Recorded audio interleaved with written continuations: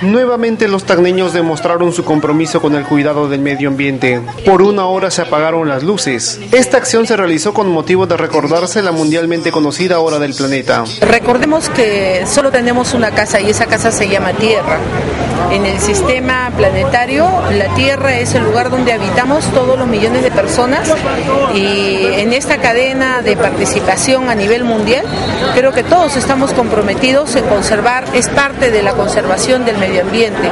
La hora del planeta consiste en apagar las luces durante 60 minutos para demostrar nuestro apoyo a la lucha contra el cambio climático. Diversos países del mundo participan de esta actividad. El Perú es uno de ellos y Tacna también se hizo presente. Nosotros como Ecoflua Mi Juventud del Centro de Salud Natividad nos sentimos muy comprometidos ya desde cerca de ocho años que trabajamos en ese tema.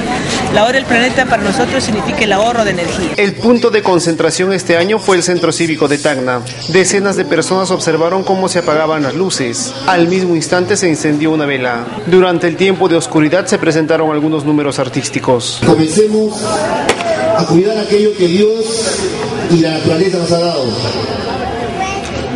Hace algunos años leía de que si es que en los siguientes 20 años no hacemos nada por recuperar aquello que estamos haciendo daño, probablemente dentro de 80 años no tendremos ya posibilidades de rescatar al mundo.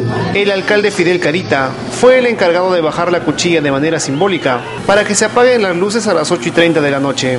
Lamentablemente algunos locales del centro de la ciudad no participaron de esta actividad. Como estamos viendo año tras año, la población se está sensibilizando un poco más con lo que es la hora del planeta. Eh, pienso que para el próximo año que la población se sensibilice mejor y venga a apoyar lo que es la planeta. Luego de permanecer por una hora a oscuras, las luces empezaron a iluminar nuevamente las principales calles de la ciudad. Las personas se retiraron agradecidos por la acción y se comprometieron a participar el próximo año.